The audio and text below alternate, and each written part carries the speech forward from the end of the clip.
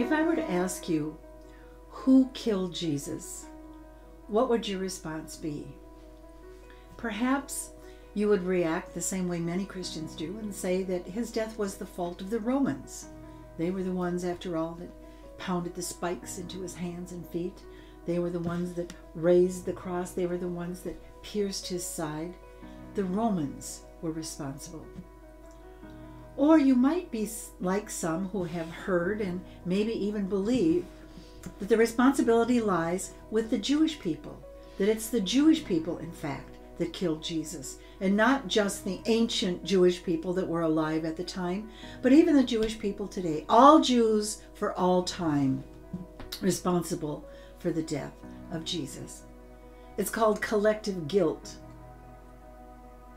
and it's a theology called deicide, which means the killing of God.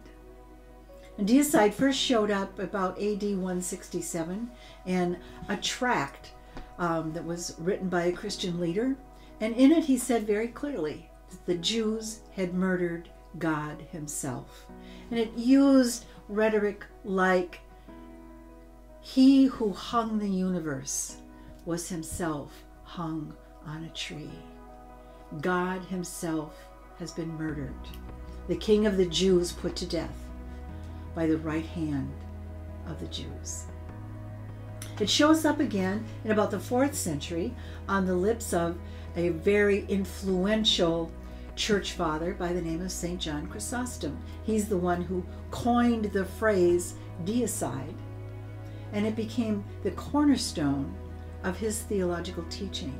Eventually, deicide became entrenched in Christian theology.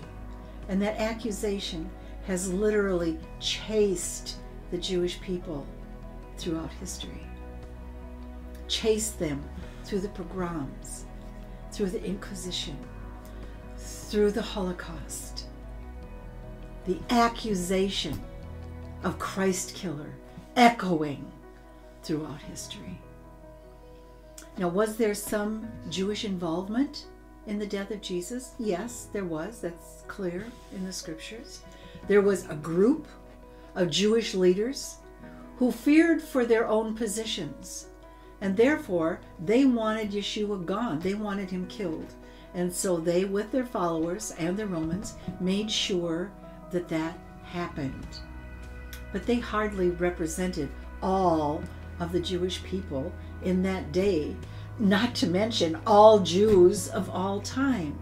And yet, that accusation throughout the millennia has been responsible for the deaths of literally millions of people. Millions of people. Innocent men and women and children whose only crime is that of being Jewish. It wasn't until 1965 through Nostra Aetate that the Catholic Church actually reputed the accusation of deicide and publicized that they would no longer teach that the Jews were responsible for the death of Jesus. But it wasn't for 33 more years until 1998 that the Lutheran Church passed a similar resolution. And today, in the Eastern Christian denominations, there are some who still cling to that teaching, still cling to that belief, who speak of the murderers of God, the lawless nation of the Jews. What about in the West? What about outside of the church? Well, unfortunately, in the West, there are still those who cling to that teaching, who believe that the Jewish people even the Jewish people today bear the responsibility for the death of Jesus. And outside of the church, we hear it often. We hear it from neo Nazi groups, we hear it from skinheads, from all kinds of radical groups, including radical Muslims, shouting, Christ killer, to justify their own anti Semitism. That accusation still haunting the Jewish people. So much so that it was just a couple of years ago that a Jewish friend looked at my husband and myself and said, But you do think I killed Jesus, don't you? what should my response have been? I think the Bible is very clear on what the truth of the matter is. You see, the Bible makes it abundantly clear that that death on the cross, that crucifixion, that, that pain, that humiliation, was the very reason that God sent his son in the first place. And I can't help but think of the pain that it must have caused God himself throughout the generations to realize that it was those that claimed to be his followers who in fact used the death of his son to justify committing murder in his name. It's unthinkable. It's horrific. It's unbelievable.